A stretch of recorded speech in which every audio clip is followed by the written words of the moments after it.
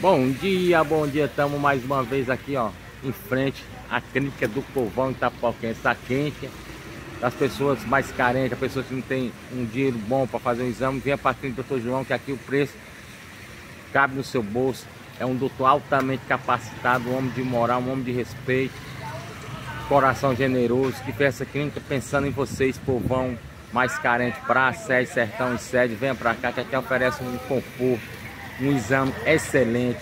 Doutor João está na boca do povão itapoquense.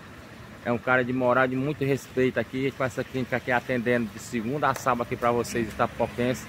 Venha para cá. Já que o preço, ó, é show de bola. E o atendimento é nota mil. Doutor João tá na boca do povão. Bota quem, doutor João Alves? Esse homem é diferenciado.